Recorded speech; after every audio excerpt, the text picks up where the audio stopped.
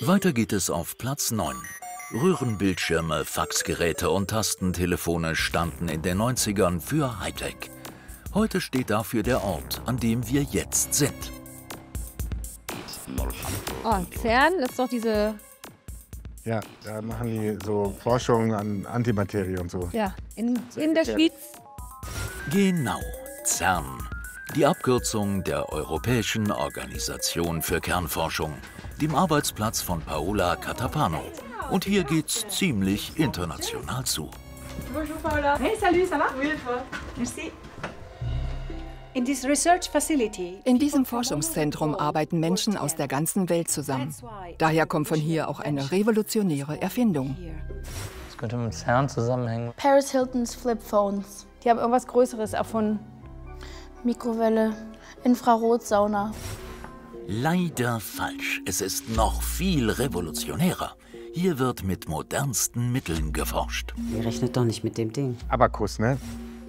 Genau, die mechanische Rechenhilfe, mit der alles viel leichter geht. Auf den Abakus aber nicht. Abakus, oder? So war es aber nicht gemeint. Hier helfen weder Schlabber noch Schieber. Noch ein Tipp. Die Wissenschaftler am CERN haben extreme Anforderungen an die Rechenleistung. Kein Wunder, dass das, wonach wir suchen, hier erfunden wurde. Also man braucht große Computerressourcen, äh, um das zu entwickeln. Und deswegen wurde es da erfunden. Der Taschenrechner. Ach, den gibt's auch schon länger. Den Casio. Ach Quatsch. Alles falsch. Eine Nummer größer bitte. Beim CERN geht es um Errungenschaften wie den weltgrößten Teilchenbeschleuniger. Noch ein Tipp. Unseren Alltag hat allerdings anderes nachhaltig beschleunigt und so vernetzt. Es geht um Elementarteilchen, das Teil vom Teil sozusagen. Check ich überhaupt nicht. Bluetooth und sowas. Das kam später, aber die Lösung ist uns schon fast ins Netz gegangen. WWW. World Wide Web. Damit haben die Professoren, damit sie einen, einen, einen, kürzeren Kommunikationsweg haben und nicht so viel Papierkram durch die Gegend schleppen müssen mit irgendwelchen Koffern und so, haben die einfach ein, ein neues Kommunikationswerk erfunden. Eigentlich für sich untereinander.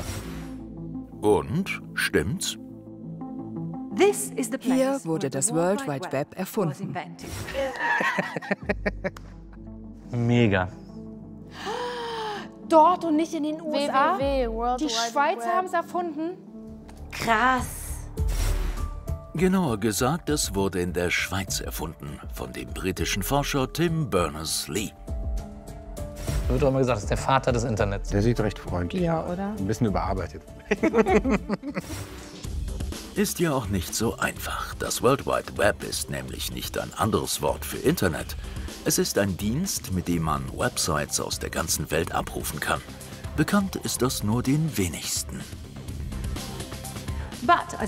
Aber wie Sie sich vorstellen können, ist dies nicht das einzige Geheimnis.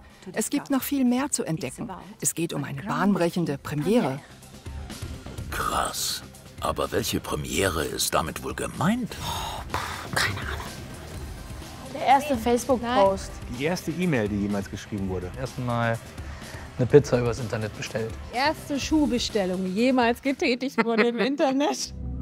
Nicht ganz, aber die Lösung hat tatsächlich etwas mit dem Online-Verhalten von CERN-Mitarbeitenden zu tun. Die weltweit erste Webseite drehte sich um die Arbeit des CERN. Unser Geheimnis ging aber über professionelle Inhalte im noch jungen Internet hinaus. Hä? Keine Ahnung. Das ist aber das ist eine harte Nuss. Finden wir auch. Um das Geheimnis zu verstehen, muss man sich erst mal ein Bild davon machen.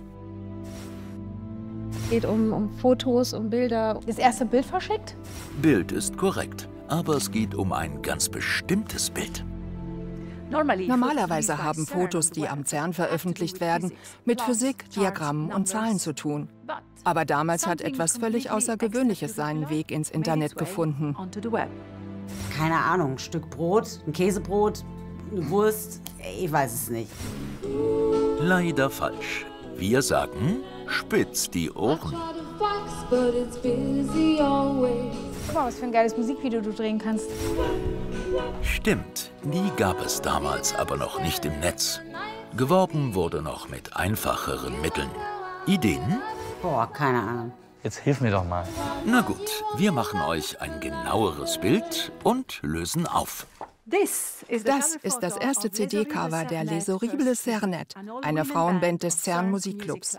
Das Bild wurde am 17. Juli 1992 im Internet veröffentlicht und ist das erste Social-Foto, das jemals im Internet gepostet wurde. Wow, da kriege ich Gänsehaut, das finde ich krass. Das die Anfänge von Instagram, YouTube und alles. Ah, also der Beginn praktisch von Social Media. So eine äh, Nerd-Frauenband. So das beste erste Social Picture, das gepostet werden konnte. Gefällt mir. Finde ich gut. Wir auch. Aber wieso gelangten die schrecklichen Zernetten, wie die Zernband auf Deutsch heißt, ausgerechnet mit ihrem Foto als erste ins World Wide Web? Ein Kollege hat das Foto auf einem Bildschirm gesehen und gesagt, ah, das ist es, wonach wir suchen. Wir brauchen ein Foto, um die neue Webseite des CERN-Clubs zu illustrieren. Und so ist dieses Foto im Internet gelandet. Echt cool. Das ist wirklich krass. Sehr lustig. Das finde ich ja super. Und wer genau war diese Band? Es gab vier Frauen, die Lieder sangen, in denen es um das CERN ging. Die Texte waren davon inspiriert. Ihr erstes Lied war You Only Love Your Collider. Zu Deutsch, du liebst nur deinen Teilchenbeschleuniger. Die sind natürlich ein bisschen verrückt geworden, Ja, auch wenn die da unter der Erde die ganze Zeit mit Teilchen Ja klar, das ist, als würdest du drei Jahre im Weltall wohnen. Ja, das waren die Tech Girls. Die haben einfach so einen Musikclub da gehabt in der Science Lab. Wie krank ist das bitte, dass in so einem Institut, dass sie da eine eigene Band haben? So eine sehr süße Geschichte, finde ich. Gibt's die Band noch? Leider nein.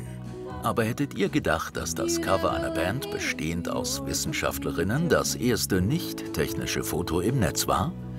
Uns hat das so begeistert, dass wir dem Bild nicht nur den Daumen hoch, sondern auch Platz 9 bei den größten Geheimnissen der 90er geben. You.